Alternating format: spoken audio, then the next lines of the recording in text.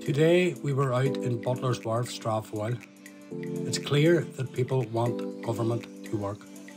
Sinn Féin was given a mandate last year to do that.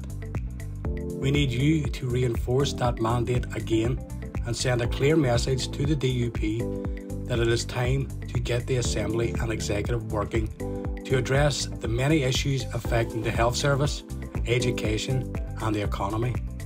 Sinn Féin is ready and willing to make government work for all. On May 18th, please vote Sinn Féin.